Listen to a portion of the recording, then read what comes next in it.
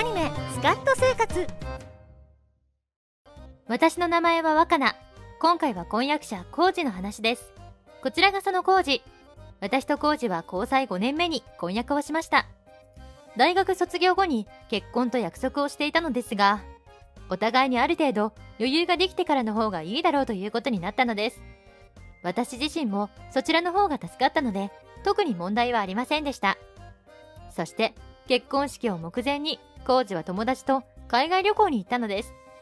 結婚するとこれまでのように気軽に遊びにも行けなくなるので問題があったわけではありません。ただ帰国してから工事の様子が明らかにおかしくなったのは感じていました。でもまさかあんなことになっていたなんて。それでは工事とのやりとりをご覧ください。工事この前の海外旅行は楽しかった？楽しかったよ。結婚してすぐは無理だろうけどある程度落ち着いたらまた友達として旅行とか行きたいな。結婚して友達と疎遠になる人もいるもんね。そういうのは良くないかなと思ってるから工事も旅行とか行っていいと思うよ。マジ？若野も遠慮しなくていいからな。家のこととか大変だろうし息抜きとかも必要じゃん。へえこの前と言ってることが全然違うね。結婚したら家のことをメインにしろって言ってたのに。いやそれはさすがにちょっとな友達にもそれは良くないって言われたんだよ。そうだったんだ。てっきりやましいことがあるからご機嫌伺いで言ってるだけかと思ったよ。は？楽しかったんでしょ？この前の海外旅行。そうだけどもしかして拗ねてる？俺だけ海外旅行行ったから？そういうわけじゃないよ。ただ酔った勢いで浮気した旅行が楽しかったんだと思っただけ。え？昨日までは知らなかったんだけどねあんたと浮気したって女性が告白してきたの。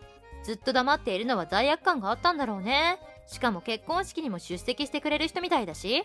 彼女はすごく反省していたよ。酔った勢いとはいえ婚約者である私に対してひどいことをしたって慰謝料も払うって言ってた。相手は反省しているのに工事は反省どころか楽しかったとさ言い切れるんだね。あいつ浮気のこと言ったのかよ。黙ってろって言ったのに。この場合工事が彼女を責めるのは違うでしょ？しかも謝る前に責める言葉が出るってどうなの？ああごめん。ちょっと羽目を外しすぎて。でも本気で浮気したわけじゃないんだよ。酒の勢いっていうか。今はどこにいるの？え？今はどこにいるのかって聞いてるの？今はちょっと。駅前のホテルでしょ？彼女以外にも浮気している人がいるって聞いたからこれでも酒の勢いで羽目を外しすぎたって言えるの？浮気は男の解消だろ。それが本音なんだね。もうどうでもいいけど。えどうでもいいってどういうことだよ。コウジとは結婚できないって意味よ。婚約破棄が妥当でしょ。ちなみにコウジのご両親にも話しているし私の両親にも話したから。はあ？これくらいで結婚しないとかありえないだろ。お前の5年は俺の浮気の1回や2回で冷めるほどかよ。お前の俺に対する愛情ってその程度だったんだななんとでも言えば何を言ってもお前が言うな状態だけどね。コウジとのやりとりの後私は彼の両親と会いました。婚約破棄はやめてほしいと言われましたが浮気の証拠を突きつけると黙り込みましたね。彼の家はお金持ちなので結婚式もそれなりに大きなものにしようとなっていました。結婚取りやめとなるとその分だけ恥をかくことになるから彼の両親も止めたかったのでしょう。しかし結婚式直前で浮気を繰り返した工事のことをかばわないだけ彼の両親は常識があったのだと思いたいです。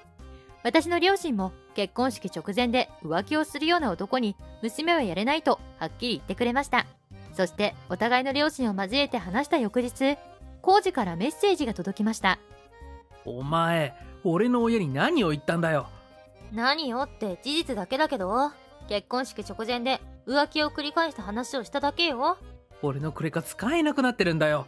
親に連絡しても取り継いでもらえないし。そういえばあなたのお父さんが言ってたかな。コーチには愛想が尽きたって。ある意味感動でもされたんじゃない？あなた親のお金に頼っていたところがあったからこれから大変だね。俺はまだ婚約破棄に納得してないんだからな。勝手なことをするなよ。納得していない？コージに何の権利があってそんなことを言うの？浮気した側に主導権があるとでも思ってる？なんで浮気された側の私が工事に従わないといけないの？もう本当に愛想が尽きた。あんたみたいな自己中心的な男と結婚なんてしなくて正解だわ。あれだけ大々的に人を招待してるんだぞ。お前は俺の親の顔に泥を塗るつもりかよ。勘違いしないでくれる？あなたのご両親に恥をかかせるのは工事の浮気が原因なんだけど。なんで我慢しない私が悪いみたいなことになってるの？自分の悪かったところを人のせいにしないでくれる？でも浮気くらい我慢しろよ。その代わり贅沢な暮らしをさせてやるんだぞ。贅沢な暮らしが欲しいから工事と結婚するわけじゃなかったんだけどね。あんたはそういう目で私のことを見ていたんだ。私は工事のことが好きだったからなのにもういい。これ以上工事のことを幻滅させないでくれる？その後私は親しい友人たちに婚約破棄をしたことを伝えました。みんな驚いていましたが工事のしたことを話すと呆れていましたね。中には工事に説教をした友人もいました。その友人が言うには工事は私のせいにばかりしていて全く反省をしていなかったそうです。ある意味本当に結婚しなくてよかったのでしょう。きっと結婚後も彼の浮気に悩まされたでしょうから。正式な婚約破棄のために一度両親を交えて会う機会があったのですがそこでも工事は反省していませんでした。浮気を我慢できない私が悪いのだと言い張って私の両親だけではなく工事の両親も呆れ果てていました。お前と結婚できないと俺を後継者から外すって言われたんだ。お前が我慢できないからだぞ。そんなの知らないよ。私のせいじゃなくて自分の浮気のせいだって何度言えばわかるの？工事ってそこまで理解力なかったっけ？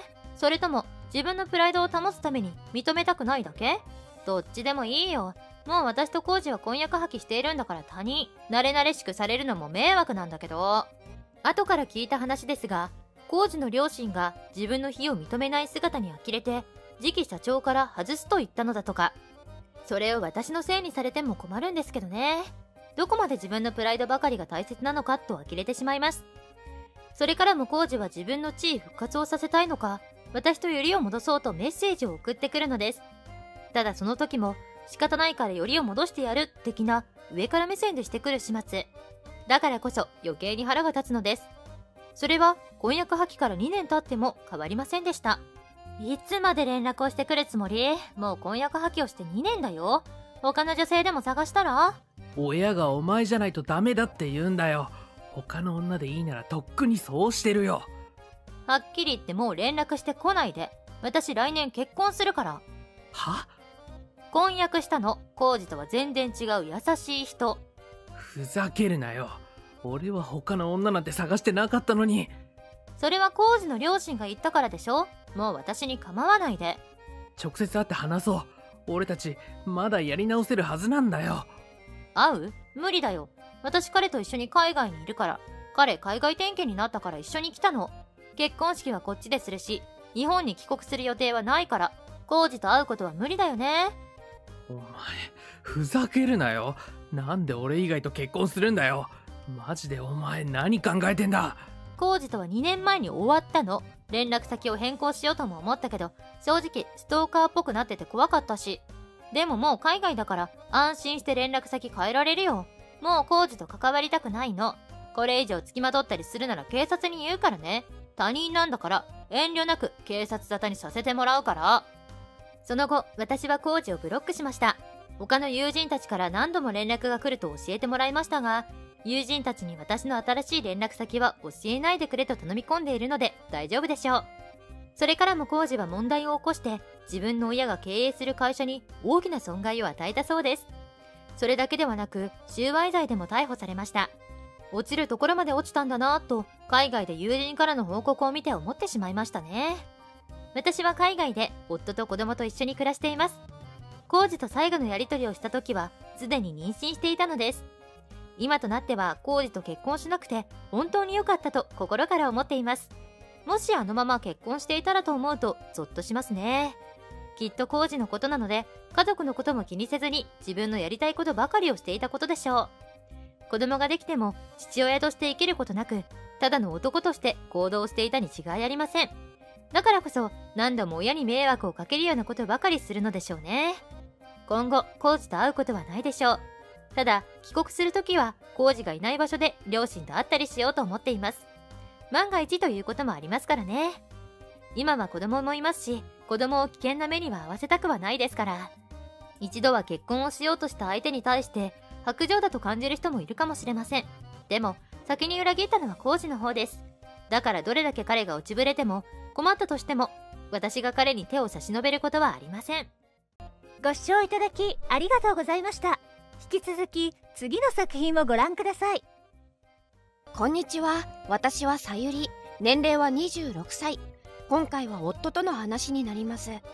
こちらが夫のみきおです。実家がパン屋をやっていて私も経営に関わる日々を送っています5歳年上の夫みきおは品質のいい国産の小麦粉を店に卸す業者で働いておりそれがきっかけで交際に発展。2年前に結婚しました。この日はちょうど産婦人科に行っており嬉しいことがあったのです。その時のやりとりをご覧ください。みきおさん速報だよ。どうしたんだ？いきなり。新しいパンの売れ行きが好調とか？それもあるんだけどとてもハッピーなニュースだよ私妊娠してみたい本当か？うん性別はまだわからないけどお腹の中にいるってそうか。よかったな、さゆり。本当は結婚してすぐに子供が欲しかったけどなかなかできないから不安だったわ結果的に良かったじゃないか。子供か。みきおさんは男の子だと思う？それとも女の子？さすがにどっちかっていうのはまだ言えないよ。まあ、あえて言うなら、さゆりに似た女の子がいいかも。私は男の子がいいなみきおさんと一緒にサッカーするところが見たいかもおいおい。女の子だってスポーツはするんだぞ。それもそうだよね元気に生まれてくれたら性別関係ないもんつわりとかは平気なのか？今は大丈夫だけどこれから気持ち悪くなるかもしれない迷惑かけないようにはするから気にするなよ。俺たちは苦楽を共にするって約束しただろ？みきおさん。妊娠中は思うように体が動かないだろうし、無理はすんなよ。お前は営業時間を過ぎても仕事する毎日を送ってんだし、お父さんが長年の夢をやっと叶えた思い入れのあるお店だもの。ずっと続くように支えたいから。さゆりが倒れたらそれも終わっちまうってことだよ。本人にも同じことを言われたよ。辛いと思ったらすぐに休むこと。はいみきおさんの言う通りにします。今から名前とか考えた方がいいのか。いや、性別がわからないうちは、出産はまだずっと先だよ。二人でゆっくり考えましょう。そういえば、さゆりのお友達も母親になってなかったっけ？ああ親友のマキは双子の男の子を頑張って育児しているはずだよ。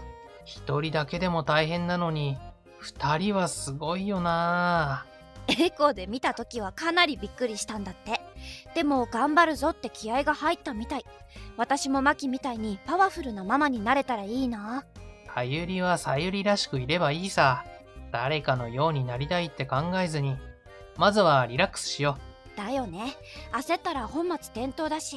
次は俺も一緒に妊婦検診に行くよ。ありがとうみきおさんそれから数ヶ月経ち私たち夫婦はいつもと変わらない生活を送りました。お腹が大きくなった頃には父からしばらく仕事は休めと言われ家でゆっくりするように。母や姉が家事を手伝ってくれるので感謝しつつも快適に暮らしています。みきおさんもきっと子供に会えるのを楽しみにしているだろう。そう信じていました。ところが妊娠6ヶ月が経過した頃。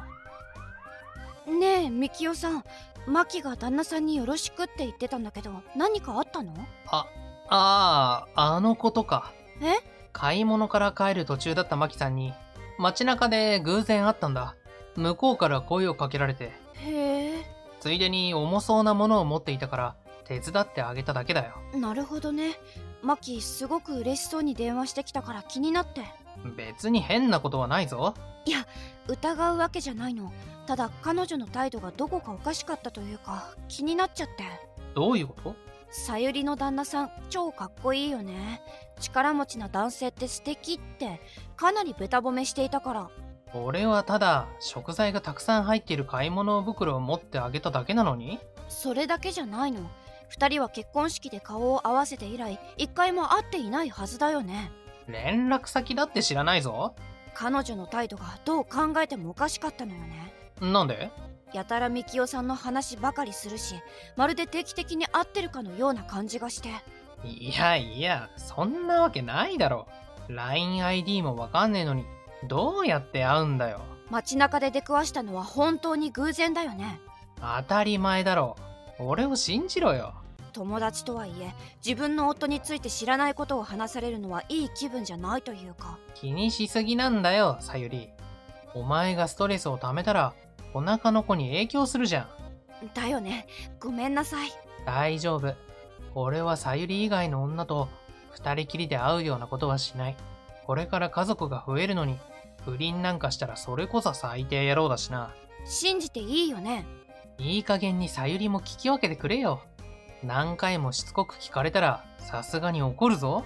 わかった今日は煮魚を作って待ってるからお、うまそうだな。サンキュー。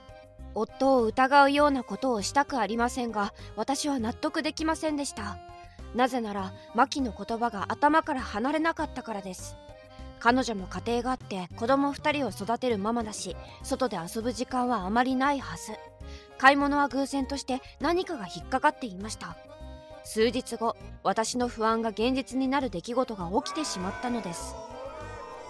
ミキオさんどうして私に嘘をついたの？マキが堂々と告白してきたわ。いきなり何なんだよ。俺仕事中なんだけど、知らないとは言わせない。さゆりの友達のマキさんがどうかしたのか？今朝彼女からとんでもない LINE が届いたの。あんたの旦那を私に譲ってくれないって。あいつ、先走りすぎだろ。この間ミキオさんは私に信じろって言ったよねあれは嘘だったの？めんどくせえな。妊婦だからってチヤホヤされると思ったら大間違いだぞ。はい？この際はっきり言ってやるよ。俺はマキちゃんと不倫していた。やっぱり時期は私の妊娠が判明した後からでしょ？まあな、仕事の合間にあったりしてな。じゃ。あ街中で荷物を代わりに持ってあげたというのは。デートを楽しんでいる最中だったってこと。マキには家庭があるんだよ。私にとっては先輩ママ友だし長年ずっと仲が良かった子で。さすがに双子をワンオペで育てるのがきつくなってきたらしい。そういうのは私たちが横入りしていい問題じゃないわ。相談に乗ることしかできないと思う。はお前同じ女なのに冷たくね？あ？ミキオさんは自分が不倫したのをはっきり認めるの？さっき言ったじゃん。マキちゃんとそういう関係になったって。連絡先を知らないのにどうやって？実は、俺の会社の社員だったっぽくてさ、子供がある程度大きくなったから、職場復帰したんだよ。え？嘘でしょ？最初は部署が違ったから、関わりがほとんどなくて、移動先にマキちゃんがいた。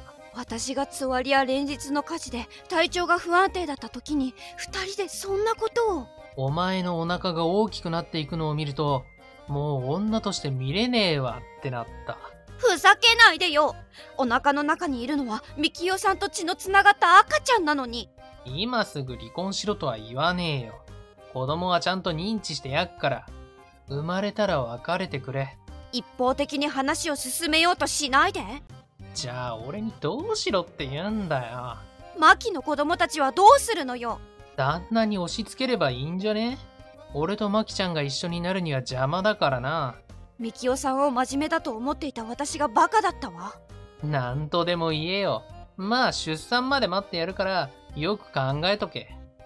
かなりの精神的ショックを受けましたがそれより大切なのはお腹の子元気な赤ちゃんを産むためにはその時まで耐えなければいけないと思いました。それから4ヶ月が経過し私は女の子を出産。仕事があると立ち会ってくれなかった夫に痛い目を見せてやるためある計画を実行することに。退院後孫の顔を見せるために両親と義両親ある人物を自宅に呼び何も知らない夫の帰りを待ちました。その時がやってきて壮絶な修羅場を迎えた数時間後。さゆり、戻ってこい。俺、トイレに籠城してるから出られねえんだよ。知らない。一回ご両親からボコボコにされたらいいのよ。マキちゃんと旦那も言うとか聞いてない。そりゃそうでしょ。ミキオさんのためにサプライズを考えていたんだし。はマキは顔をぐしゃぐしゃにして泣いてたね。きっと不倫したことを後悔したんじゃないかな。彼女が一人きりで子育てしているのがあまりにもかわいそうだから、つい、それで手を出してホテルに行ったり街中で堂々とデートをしたってこと？それより、ドアの向こうにいる奴らをどうにかしてくれよ。つうか、なんでお前とお母さんはさっさといなくなっちまうんだ？私は子供を出産したばかりで体調も完全に戻っていないの。あなたと同じ環境にいたらさらに悪くなりそうだし実家に帰らせてもらいました。俺に黙ってみんなにチクるとか最低だぞ。逆ギレしてんじゃないわよすでに家庭がある女に本気になるわけねえだろ。マキちゃんとはただの遊びだったんだ。遊び。この間は一緒になりたいって私にはっきりと言ったよね。それは。みきおさんは2つの家庭をめちゃくちゃにしたの。それにマキの旦那さんはとても誠実で優しい人よ。本人はそんなこと言ってなかったあなたと体の関係を持つためにいろいろと嘘をついたんでしょうねなあ俺はこれからどうなっちまうんだ？離婚は絶対に避けられないし慰謝料もそれなりの額を覚悟しないとね。本気じゃなかったんだって。今さら言い逃れしようとしたって無駄よ。しかも私が妊娠している時に昔からの親友とね。許してくれよ。これからは心を入れ替えるから。何言ってんの？はい分かりましたって。うなずくと思う？さゆりがだんだんと母親になっていくのが不安だったんだ。子供ばかり優先して俺に構ってくれなくなるんじゃないかって。そんな理由で私を放ってマキと。俺にとっては重大な問題だったんだ。私はみきおさんのことも考えながら生活してきたわ。二人で一緒に名前を考えたかったのに。みんなに怒鳴られてやっとわかった。一番大切なのはさゆりと子供なんだってこと。を気づくのが遅すぎる。私はあなたとやり直す余地はないと思ってるから。このままトイレから出たら殴られる。助けてくれよ。無理責任すら取れない男はこっちから願い下げよ今後は家族のことだけを考えるから頼む。う娘は私が育てます。さようなら。さゆり。夫は男性陣がドアを切り破ったことにより無理やり引きずり出されたそうです。その日の夜は修羅場が続き不倫した2人は家族から感動を言い渡されました。牧夫婦も離婚し双子の親権は旦那さんに渡りみきおは彼女ともども会社をクビ。今は2人がどこで何をしているか分かりません。私は離婚後慰謝料と養育費を受け取って実家で子育てをしています。娘は優しい子に育ってほしいという願いを込めて優子と名付けました。大きくなったら一緒に美味しいパンをたくさん焼きたいなと思っています。ご視聴いただきありがとうございました。引き続き次の作品をご覧ください。私の名前はマリエ。今回は元夫陽介の母である十和子さんの話です。こちらがその十和子さん。陽介の不倫が原因で私たちは離婚をしました。子供が一人いるのですが私が親権を取って実家で暮らしています。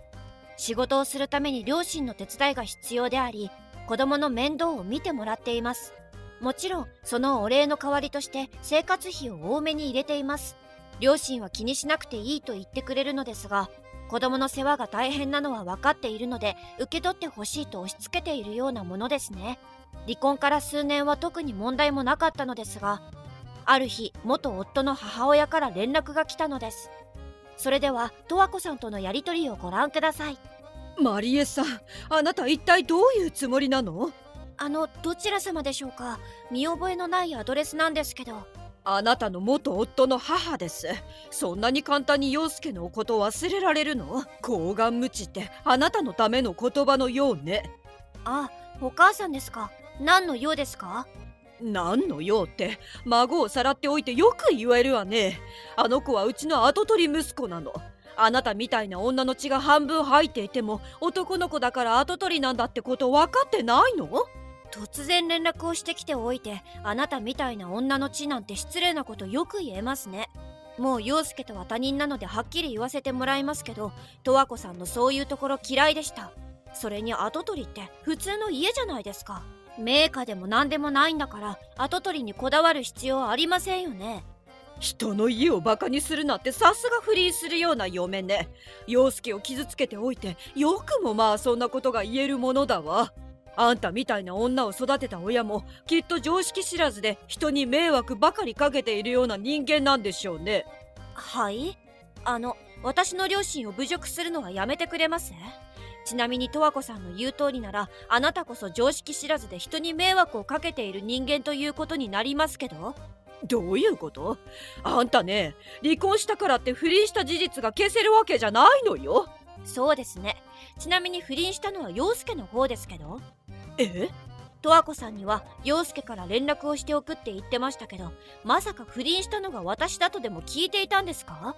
あんたが若い男と不倫をして離婚するって不倫した側なのに母親だからって親権を取れなかったって陽介は言っていたわよ。知らなかったということでさっきの言葉は謝ってくれれば水に流してもいいですよ上から目線で偉そうに。陽介は不倫なんてしないわよ。誰かを傷つけるようなことができる子じゃないもの。40前のおっさんに子って。ちなみに証拠写真ならありますよ。はい送信。ちょっとベッドシーンの写真なんか送ってくるじゃないわよ。だって十和子さんが信じないから。それで何か言うことがあるんじゃないですか？浮気される側にも原因があるってこと知らないの？え？何？もしかして十和子さんって陽介と同じで謝ったら死ぬ病気にでもかかってるんですか？陽介も結局不倫のことについて最後まで謝らなかったですけどその辺親子ということもあって似てますね。っていうか離婚して数年経ってるのに今更孫返せはないでしょ本当に孫のことを考えているならこの数年何をしていたんだって話になりますけど。何なの？さっきから人のことをバカにしてもう少し首相な態度を取れば寄り添ってあげてもいいと思っていたのに。思い切り喧嘩売っておいて何言ってるんですか？寄り添ってあげてもいい？上から目線なのはどちらでしょうか？まだ陽介が不倫をしたことを認められないなら浮気相手と陽介から取った慰謝料の書類でも見せましょうか？十和子さんが言うには孫が奪われたというのは最近聞いたことらしいです。不倫が原因で離婚をしたということは伝えていたようですが傭兵は自分が責められたくないからって私のせいにしていたみたいですね。これについては私が十和子さんに離婚報告をしなかったのも原因の一つでしょう。たださっきのやり取りを見てもらえばわかるように十和子さんは自分がこうだと決めたことは譲りません。自分が間違っている場合でも責任転換をしてくるようなところがあるので結婚していた時も最低限の付き合いしかしていませんでした。まさか離婚してから勘違いで突撃されるとは思っていませんでしたけどね。まあこれは騙した陽介のせいと言っても過言ではないんですけど。陽介が不倫をしていたことは分かったから孫だけでも返してちょうだい。何言ってるんですか？不倫したのは陽介ですよ。不倫するような男のところに大切な子供を任せられるはずないでしょマリエさんはお仕事はしているの？していますけど？だったらその間大切な孫が一人ぼっちじゃないの。うちだったら陽介が仕事でも私が見ていられるし子供の環境としてもいいと思うのよね。実家の両親が見てくれているので安心してください。不倫するような男間違いを認めようとせず謝罪もしない祖母のところにいることが子供にとっていい環境とは思えないんですけど。自分では間違ったことを謝らないのに孫には悪いことをしたら謝れって言うんですか？はっきり言ってどの口が言うんだよって感じですけど。十和子さん私に対して謝っていないの気づいています？不倫をしていたことを私だと勘違いしていたのは陽介のせいだとしても私の両親を侮辱したことなど謝ってもらえていません。私とあなたの仲だからいいじゃないの。どんな仲ですか？勝手に親しくしないでくださいよあなたは私にとって別れた旦那の母親。つまり他人です。他人から失礼なことを言われて私たちの仲だからとか言われても困惑するしかないです。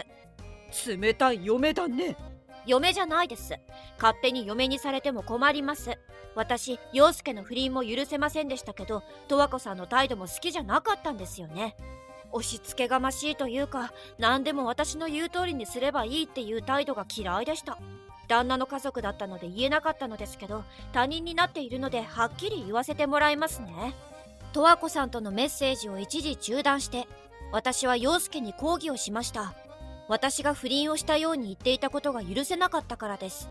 陽介としてはいつもの軽いノリで言っただけと言っていましたけど被害を受けた私からすればたまったものではありません。きちんと自分で説明をしておくことを約束させました。もし今回のやり取りが終わった後も十和子さんがこちらに対して何か言ってくるようであれば離婚の時にお世話になった弁護士に相談するとも伝えました。陽介としても大ごとにはしたくないらしくしっかり説明をして私への誤解を解いておくと言ってくれましたまあ誤解ではなく陽介が嘘を言ったからこんなことになっているんですけどね陽介には今連絡したので彼から説明を受けてください。その上でまだ何か言ってくるようであれば弁護士に相談をさせてもらいますから。孫に会いたいんだよ。会わせてくれてもいいじゃないの。だったら最初からそう言えばよかったんです。私が悪いんだからと勝手に勘違いしてマウントを取りに来た時点でやり方間違っていると思わなかったんですか？そんな人に大切な子供を会わせられると思います？十和子さんが言ってきた言葉じゃないですけどそれこそ連れ去られそうで怖いので会わせられません。そんなことはしないよ。信じられません。それにこっちの家族を引っかき回すのはやめてください。家庭？私3ヶ月ほど前に再婚したんです。まだお互いの仕事が落ち着かないので両親の手を借りていますけどね。引き継ぎも終わって私は家庭に入ることにしましただからもうこっちに関わらないでほしいんです。陽介と離婚して数年で再婚あんたこそ男好きの女じゃないの。陽介は結婚中に女に手を出したんですよ。盛大なブーメランが刺さってますけど気づいてます？どちらにしても私は子供を陽介や十和子さんと関わらせるつもりはありません。もしかしたら子供が将来会いたいと言うかもしれませんけどあくまでも子供が自主的に会いたいと言った時だけ会わせるようにしますまあ子供も陽介の不倫のことは知っていますから会いたいと思うこともないでしょうけどね。今の夫をすごく慕っていますし自分にとっての父親はこの人だって子供本人が言っていますから。この後何度か十和子さんから連絡が来ました。でもその度に陽介に連絡をして止めてもらっています。さすがにこれ以上続くなら弁護士相談も辞さないと言ったらピタリとやみましたけどね。今の夫にも十和子さんのことは話していますけど怒っていましたね。陽介の人に罪をなすりつけていたことにも怒っていました。次に何か言ってきた時は夫が対応をしてくれるそうです。私は止めたのですけどそっちの方が向こうも真剣になってくれるだろうとのことでした。今現在連絡は来ていないのでこのままずっと連絡が来なくなればいいなと思います。子供にも陽介や十和子さんのことを話しましたが会いたいという言葉はなくゲッと言っていました。私も初めて知りましたが子供も十和子さんのことを苦手に思っていたそうです。この調子なら子供が大きくなっても2人に会いたいということはなさそうだなと少しほっとしました。最後までもやっとしたことは十和子さんが謝らなかったことです。誤解だった。知らなかったとはいえごめんなさいの一言すら言えないんでしょうかね。まああの性格ですから謝ったらどうにかなる病気にでもかかっているんでしょう。そう自分の心に納得させることにしました。いつまでもあの人たちのことを考えていても仕方ないことですからね。ご視聴いただきありがとうございました。引き続き次の作品をご覧ください。私の名前はアスカ。今回は息子大好き姑時代さんの話です。こちらがその時代さん時代さんは結婚当初から過干渉がすごく独り身なのをいいことに私たちの新居の近くにわざわざ引っ越してきて、いつの間に作った合鍵で、ほぼ毎日偵察にやってきていました。そして私の作る料理や掃除の仕方などについて、毎晩、今日の家事点数は、と、謎の採点結果とともに説教。そして仕事と家事と姑のトリプルパンチで、心身ともに疲れ切っていたある日、新一の浮気が発覚し、私が彼を問い詰めていると、いつものように姑が無断で家にやってきました。嫌な予感はしましたが、案の定姑は、旦那様を叱りつけるなんて、と旦那サイドに加戦。そのまま姑を加えた家族会議が開かれ、私が家から追い出されることになったのです。その後も何度か姑からの嫌がらせに近い説教ラインが届きました。それではそのやりとりをご覧ください。アスカさん、この荷物早く取りに来なさいよ。邪魔で仕方ないわ。え、もう私の荷物はなかったと思うのですが。このポーチよ。玄関前に忘れていってるポーチ。なんなの？この派手なヒョウ柄目障りだしなんだか香水みたいな変な匂いもするし、ほんと邪魔。ポーチですか？私、ヒョウ柄のポーチなんて持ってないですよ。あなた記憶力大丈夫？私このポーチはあなたが結婚してる時から何度か見たことあるわよ。自分の持ち物も把握できていないような頭の悪い女がうちの可愛いしんいちゃんの嫁だったなんてやっぱり孫を産ませる前に離婚して正解だったわね。そんなんだから私が手間と時間を惜しんで、嫁の心得を教えていたのも響いてないのよ。本当ならあなたに割いた貴重な老後の時間を返してほしいくらいなのに、訴えないで家から追い出すだけで許してあげた私って、なんて心が広いのかしら？って、アスカさん何か言ったらどうなの？既読がついているから見てるのは分かっているのよ。見たら30秒以内に返事をしなさいって、あれだけ言ったのに、まだ理解できてなかったのね。こんなこと小学生でもできるのに、あなた嫁どころか、大人としてどうなの？送ろうとしているのに、次から次へと時雄さんからの LINE が来るので、お返事できなかったんですよ。まあ、言い訳がましい。それに姑を名前で呼ぶなんて、失礼極まりない。立場をわきまえなさい。立場も何も、もう姑じゃない人に、お母さんと言う方がおかしいと思いますけど、そんなこと関係ありません。一度嫁になったからには、たとえ離婚したとしても、今後一生私のことをお母様として敬うべきなのです。えー、そこ関係ないんですか？めちゃめちゃ重要だと思うんですけども。もういいわ。また一から嫁の心得を私がしっかり教えてあげる。それでいつこのポーチを取りに来るの？あ、そのポーチなんですけど、先ほど新一さんに確認したら、新しい彼女さんのものらしいですよ。だから私の時みたいに、間違っても捨てたり、生ゴミと一緒に放置したりするなよっておっしゃってました。え？そうなの？けど、このポーチは、結婚していた時から見かけたことがあったから、てっきりあなたのものだと。だから、彼女さんというのは、私と結婚している時から新一さんが浮気していた相手なんですよ。時代さんが家族会議の時に私が見せた証拠を全部捨ててしまったから私は泣く泣く慰謝料も請求できずに離婚する羽目になりましたけどご自分で新一さんの浮気の証拠を私に突きつけるなんてとんだ誤算ですね。それはご安心してください。私は昨日で自分の荷物の移動を全て終わらせたのでもうこれ以上あなた方と連絡する理由はなくなったんです。今更浮気の証拠が出てきたからって掘り返したりしませんよそれよりも一刻も早く、あなたたちとの関係を切りたいので。な、その言い方は何ですか？お説教タイムを始められても構いませんが、私はこれでもうブロックするので、意味ないですよ。ちょっと待ちなさいお世話になりました。この後、時代さんと新一さんの LINE を同時にブロック。電話も着信拒否して新生活のための準備に取り掛かりました。自分が思っていたより、時代さんの存在と、その過干渉に対して何も言わない上に、浮気をしていた新一さんにストレスを感じていたのか、関わるのをやめてからというもの、仕事もプライベートもうまくいき始め、離婚してからあっという間に3年もの月日が流れていました。しかし、忙しく幸せな毎日に、過去のいざこざを忘れかけていたある日、突然あの人から再び連絡が入ってきました。アスカさん？お元気かしら？えー、っと、どちら様で？いやねたかが3年でお母様のことを忘れるなんて、時代よ、新一の母、そしてあなたのお母様。え、時代さん？私3年前にブロックしたと思うんですけど。あなたが勝手にブロックなんてするから、この私がわざわざスマホを変えて連絡してきてあげてるのよ。もう少し感謝の姿勢を示してほしいものだわ。いや、感謝も何も、今更何の用なのかとしか思えないですけど。ほんと失礼な嫁ね。で、何の用でしょうか？あなた今月中にうちに戻ってきなさい。うちの新一と再婚させてあげる。はあ？え、何言ってるんですか？何って、こんなにもありがたい話はないでしょ？あなたはもう32歳。このまま誰とも結婚できずに寂しい老後を迎える人生から助け出してあげようっていうこちらの優しさよ。もう少し素直に喜ぶべきだと思うわ。いやいや、何が優しさですか？大きなお世話ですよ。あのね、こちらが優しく言っているうちにありがとうございますお母様とお返事するのが常識でしょうが。3年ぶりにいきなり連絡してきて、再婚させてあげるなんて、わけのわからないこと言う方に、常識云々言われる筋合いないのですが。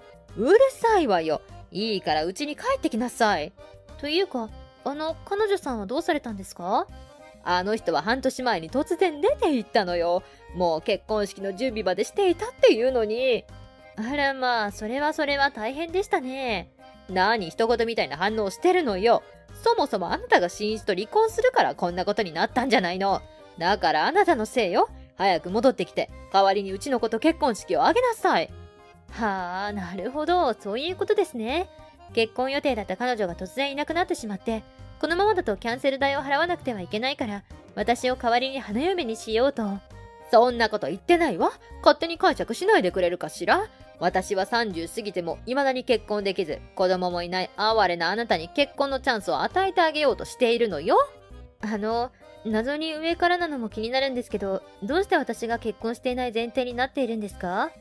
そんなの確認しなくたってわかるわ。嫁として不十分なあなたと結婚してくれるような男性なんて現れるはずないもの。ましてや30過ぎたバツイチ女なんてね。相変わらずズケズケと言ってくれますね。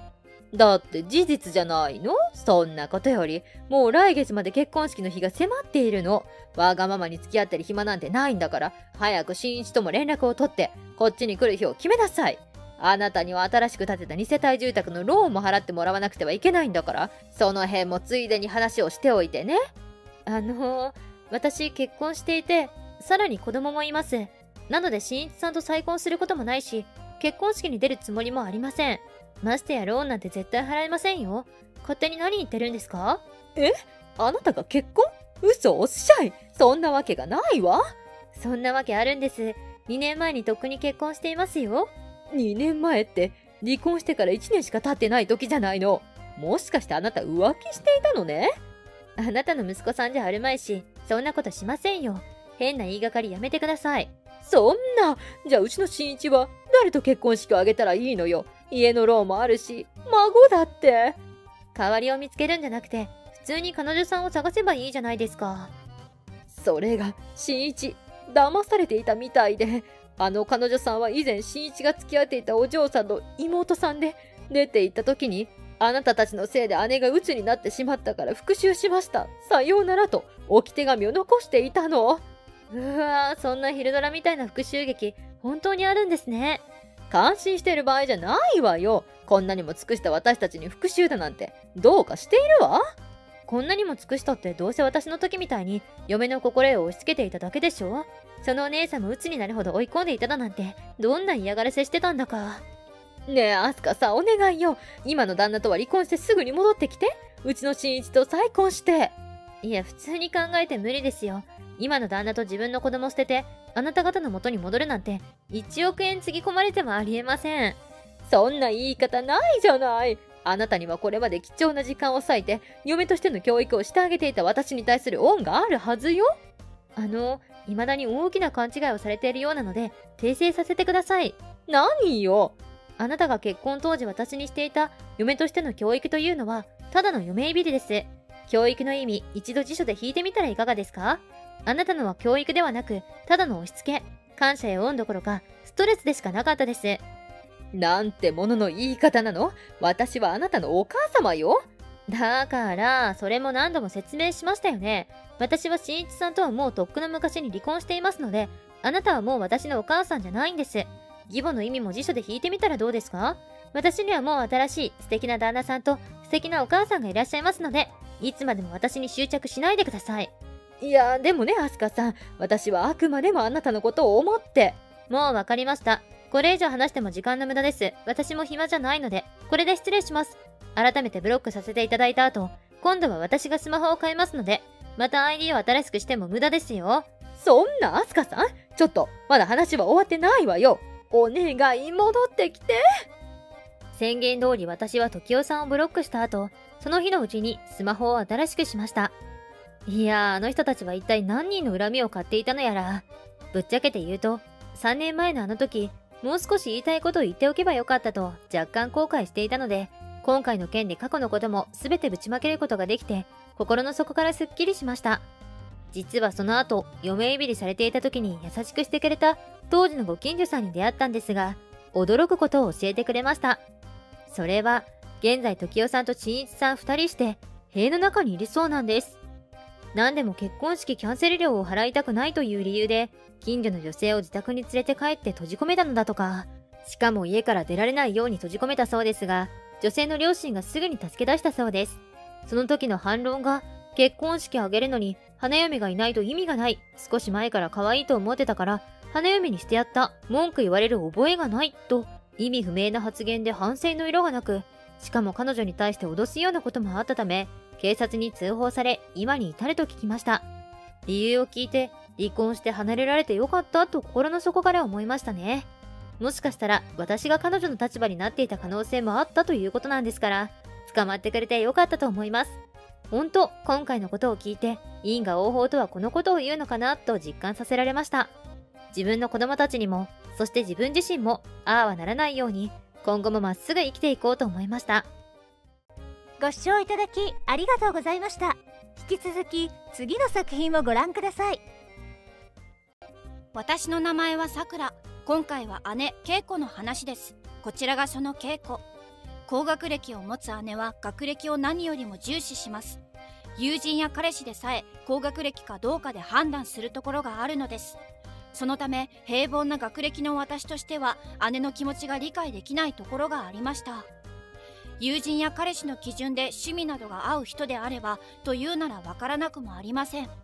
私もそういうところはありますし同じ趣味を持つ者同士が集まれば楽しいですしね。ただ姉の場合は高学歴に悪い人はいないという謎思考の持ち主なんです。高学歴でも悪い人は結構いると思うんですけど。それでは姉とのやり取りをご覧ください。さくらの彼氏って何歳だったっけ？32歳だよ。8歳年上だから結構落ち着いていて頼りになるんだ。へえ学歴は？別にいいでしょ。学歴で全てが決まるわけじゃないんだし。お姉ちゃんは学歴にこだわりすぎだよ。学歴は大事なものでしょ？高学歴であれば就職も有利になるし収入も大きくなってくるんだから。ほらお姉ちゃんに教えて。さくらの彼氏の学歴はどうなっているの？中卒。はあ？だから中卒だって言ったの。彼進学の時にご両親が病気になったから高校進学を諦めて。今すぐ別れなさい。中卒の男と付き合うってバカなの？最低でも大卒の男でしょ。あのさ学歴だけで全てを決めるのはやめてってば。お姉ちゃんの彼氏なら自分の基準でいいけど私の彼氏なんだから変な口出ししないでくれない？私は姉として心配してるだけだよ。口うるさく感じるかもしれないけど絶対にさくらは将来私の言うことを聞いていてよかったって思うよ。彼氏をバカにされて感謝なんて絶対にないから。私の彼氏に会ったこともないくせに学歴だけで貶めるのはやめてよ。大体学歴がいい人に悪い人はいないって言うけど人の彼氏を悪く言う人がいい人なの。高学歴を自慢にしているならもっと言われた人がどんな気持ちになるかをしっかり考えてよ。昔はお姉ちゃんにべったりだったくせにやっぱり低学歴の男に騙されているんじゃないの？だからなんでそんなことを言うの？私の彼氏をバカにするならもうお姉ちゃんとはメッセージのやり取りも電話もしない。今時低学歴の男なんてダメなんだってば。そんなに相手の男が好きならいいところを言える？仕事は何をしてるの？建築業とかそういう感じの人なんでしょ？お姉ちゃんの偏見って失礼なことばかりだよ。建築業の人だったらどうなの？建築業の人がいないと建物が建たないんだよ。学歴で全て何でも賄えると思ったら大間違いだよ。少なくとも私はお姉ちゃんを見て高学歴の人になりたいなんて思わないから。姉は姉なりの教授があるのでしょう。でもそれでも私の彼氏を見てもいないのに中卒だからといって上から目線でダメというのは違う気がします。逆に私が姉には理解できない感情で彼氏を否定したらどうなるのでしょうか。高学歴だからこそ見えていない部分もあるんでしょうね。これまで姉の高学歴自慢を上から目線で言われることはありました。でも自分のことなら我慢はできたのですが大好きな彼氏のことを上から目線で言われては腹が立ちます。そのことを彼氏に言っても実際に中卒だからなぁと苦笑していました。私の手前抑えているような感じがありましたけど彼は有能な男性なので学歴だけで判断されることは悔しかったはずです。さすがに彼のことを誤解されたままは私も悔しかったので一度姉に会ってもらうことにしました。ちなみに姉には言っていませんでしたが彼は IT 企業の社長です。高校進学ができなかったのではなく学力は十分にありながら進学を諦めた人なのでもともとできる人なのです。彼氏を姉に会わせた日の夜さくらなんであの有名な飯沢の社長が彼氏だって教えてくれなかったの？お姉ちゃんは学歴ばかりで判断して言うタイミングを作ってくれなかっただけじゃない。お姉ちゃんは中卒の彼氏だってバカにしていたけど彼を見て分かったでしょ。学歴なんて関係ないって。有能な人は高学歴じゃなくてもすごいんだって。ねえ彼氏に来県とか受けるように言ってみたら？はあ？人の話聞いてる？だってあれだけの人が中卒なんてもったいないわよ。今からでも大学受験すれば高学歴になるじゃない。お姉ちゃん全然分かってくれてないんだね。学歴が全てじゃないって分かってほしくて彼に会ってもらったのに。結局お姉ちゃんは学歴でしか人を見れないんだ。だったらもう姉妹の縁も切ったら？私は高学歴じゃないしお姉ちゃんが自慢にできるような妹じゃないもんね。黙りなさい。中卒の社長の信用なんてほとんどないでしょいい大学を卒業しているかどうかで人は判断するの。さくらの彼氏も今は調子がいいだけ。いつ転落するかわからないんだから学歴をしっかりしておくに越したことはないでしょそうだろうけどお姉ちゃんはそれじゃないでしょ高学歴の飯沢の社長と知り合いってことにステータスを感じているんじゃない？そそんなことないわよ。だったらなんで彼に電話をしていたの？学歴がどれだけ大事なのかってお姉ちゃんから電話が来たって彼が言っていたよ。そそれは。あもしかして学歴さえあれば彼はお姉ちゃんにとって理想の男性だったりするの？学歴をしっかりつけさせて妹から奪おうとか？そういえば昔からお姉ちゃんって私のものを欲しがったりしていたよね。学生時代には彼氏を取られたことだってあったあの時は確か生徒会長の彼だったかな。まさかとは思うけどあの時と同じことをしようと思っているんじゃないの？そんなことしないわよ。姉は否定していましたがきっと私の予想通りのことを考えていたのでしょう。彼の良さを知ってもらうために合わせたつもりですがまさか彼を奪おうと画策しようとしているなんて思いませんでした彼は誠実な人なので姉の誘惑に負けるような人ではありませんが念のために気をつけておくように言いました。それから数日後彼から姉がしつこくデートに誘ってくると言ってきたので私から姉に連絡をすることにしたのです。お姉ちゃん何を考えているの？な何が？彼から聞いたよ。しつこくデートに誘われるってしつこくなんて失礼ね。私は代見の相談とか乗ってあげようかなと思っただけ。相談に乗ってあげようとした？彼から何の相談も受けてないのに。自分好みの彼にしようと思っているだけでしょ？やっぱりお姉ちゃんは彼を奪うつもりなんだね。もういい。もうお姉ちゃんのことは姉とは思わない。お父さんやお母さんにもこのことは言うから。言えばお父さんたちが高学歴の私と平凡なあんたどっちを信じるか日の目を見るより明らかでしょ言っておくけどお父さんたちはお姉ちゃんのことが苦手なんだって。何でも理屈っぽく言うから可愛げがないって。お父さんたちも学歴が高いわけじゃないから学歴学歴って責められているようできついんだってさ。何よそれ。私のことが可愛くないって言うの？自慢の娘になってあげたのに。ほらそういうところだよ。なってあげたって恩着せがましいんだよ。上から目線が癖になっているから人を下に見るばかりだよね。正直それって相手に不快感しか与えないから気をつけた方がいいよ。学歴しか見れないから勘違いして恥かくんだよ。少なくとも私の彼氏は高学歴のお姉ちゃんなんかよりもずっと素敵な人だよ。有名企業の社長だけど気さくな人だから社員たちからの信頼も厚いしね。学歴しか自慢がないお姉ちゃんとは雲泥の差だよね。妹のくせに生意気よ低学歴のくせに。高学歴の姉に感謝しろ。ねえ本当に高学歴なの？語彙力なさすぎるしちょっとレベルが低い罵声だから痛くも痒くもないよ。お前みたいな底辺女が社長の恋人？ふざけるな。有名企業の社長の恋人は私の方がふさわしいんだから。うわ本当にそういうつもりだったんだ。ちょっとっていうかすごく引く。言っておくけどお姉ちゃんは彼が一番苦手なタイプだからアプローチしても無駄だからね。っていうか妹の恋人を本気で奪おうとしないでよ。もし私たちが結婚してもお姉ちゃんとは付き合わないようにするからね。その後も姉は彼氏にアプローチをしていたようですが婚約を機に県外に引っ越すことにしました。両親にも相談をして近場で暮らさない方がいいだろうと言われたためです。姉には私たちの住所も連絡先も教えないでほしいと両親に頼みました。正直彼にこだわる姉はやり取りをしていても怖いくらいですから。あれから数年が経ちました。私は彼と結婚をして今では双子の母親です。